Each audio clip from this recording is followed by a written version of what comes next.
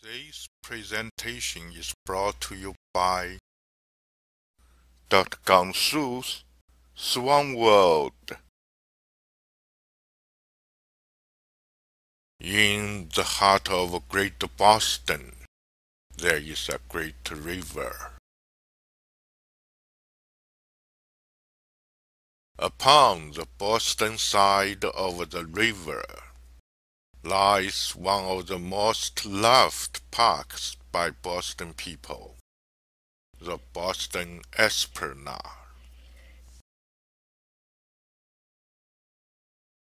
This neat, beautiful retreat, however, will be ruined by non-native plant as early as October 2023, just a few months away. We are facing an imminent outbreak of burdock infestation in Boston, a crisis that's difficult to manage, but will impact on the quality of our life in the years to come. Burdock is not a native plant species in the U.S.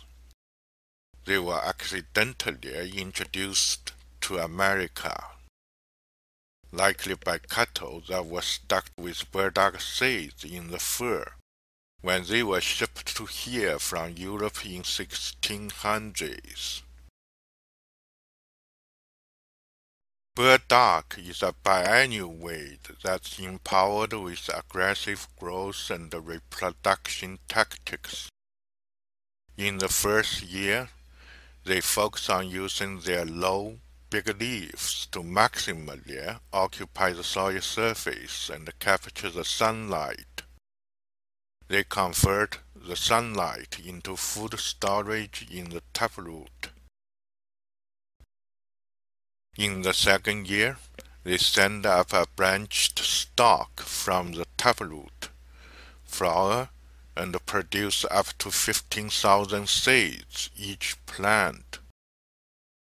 Their seeds are encapsulated in burrs. These burrs have hooked bristles on their surface. They can catch on to passing animals and people easily, spreading their seeds farther and wider. Although being valued as food and herb medicine in some cultures, Burdock is not an ornamental plant for landscaping.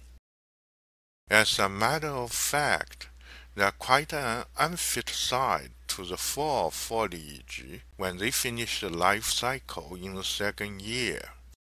As early as September, they start from their dried leaf in the air like pieces of dirty cloth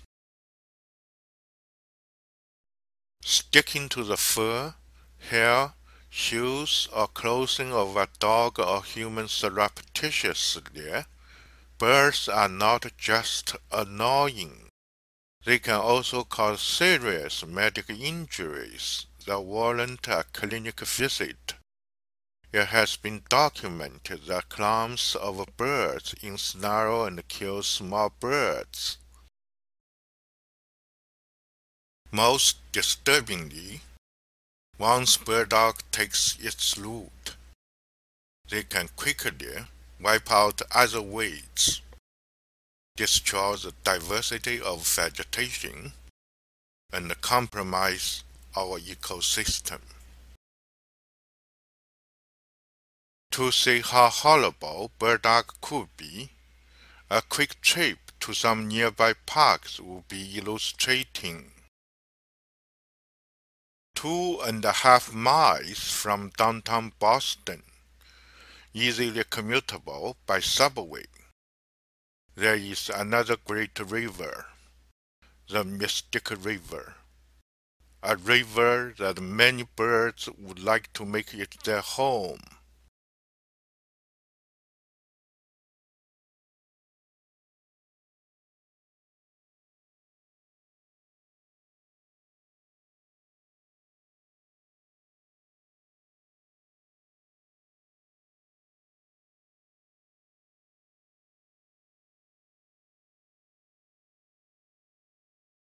On the north side of the river, there is a park called Torbert Macdonald Park.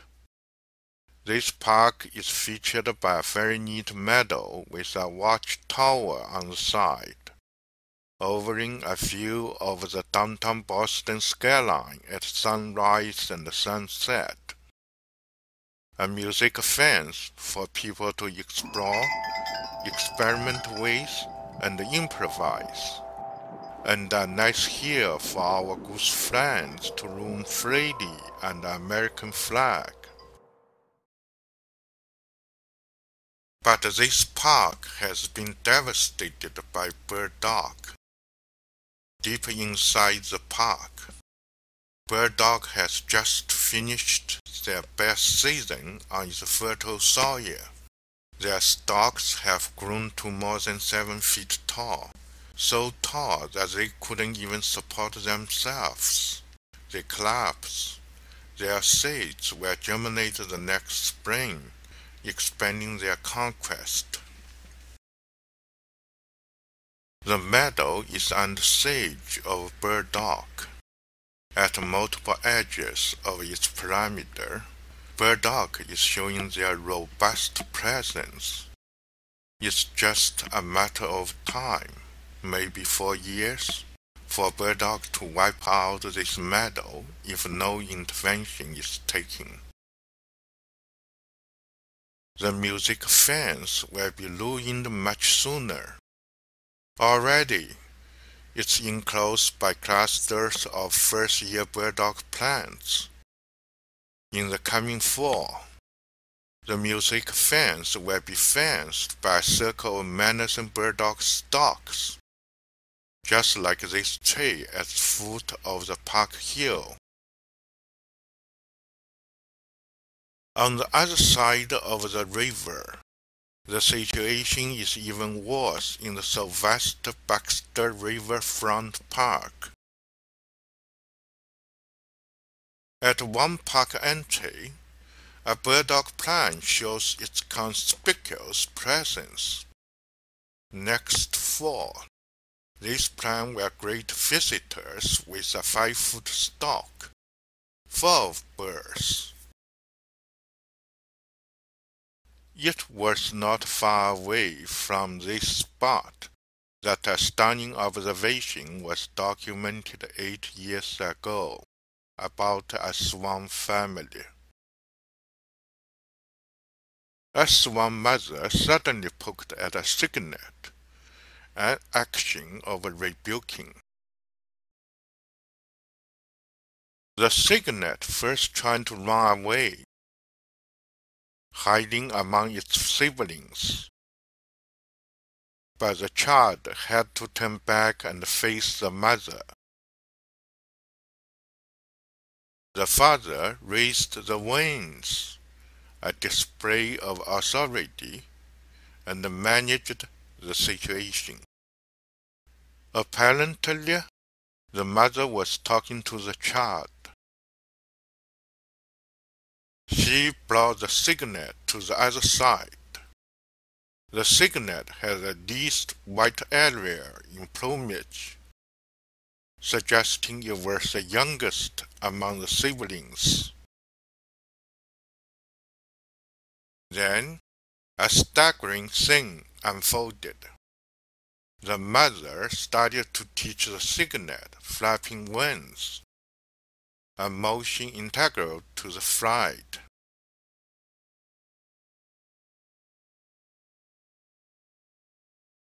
This observation indicates that swan parents have evolved the way of disciplining and educating their children methodically and purposefully, suggesting that swans are capable of abstract thinking and rationality.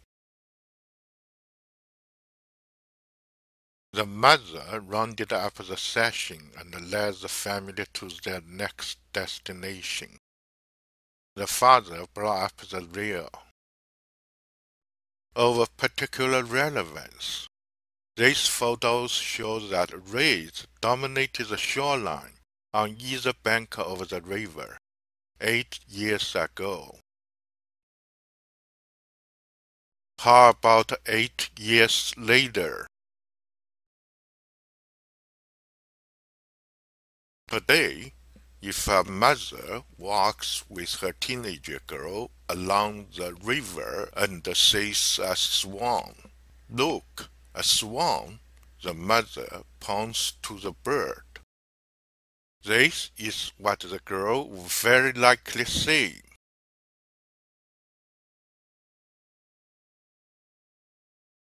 In this segment of the bank, burdock has completely replaced the other weights.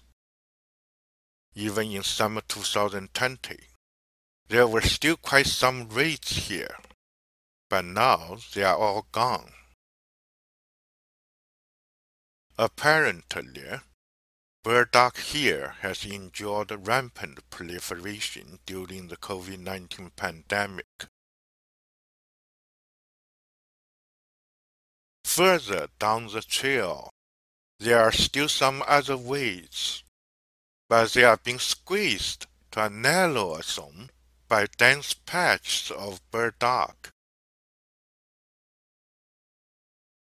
On the bank beyond the children's playground, other weeds such as reeds, pokeweed, and the goldenrod are fighting for their last footing. But they are already surrounded and infiltrated by burdock. Almost certainly, they will disappear from the bank in less than three years. Nearby, burdock has claimed the garden mound. This park is part of the Assembly Square an area that's closely connected to downtown Boston and packed with diverse and dynamic human activities.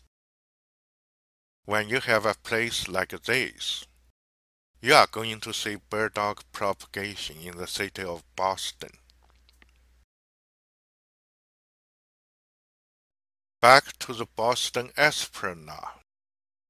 Fortunately, the park hasn't reached the end stage of burdock infestation, but the first year burdock is everywhere.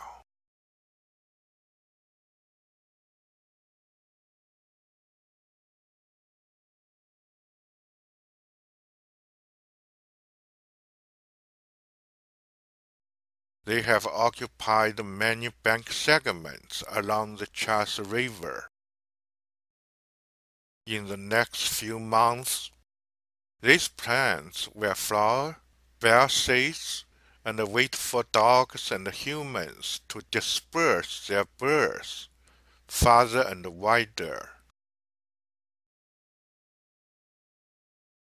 In October 2023, this is what our children or grandchildren would say if they look across the Charles River from the Boston Esplanade.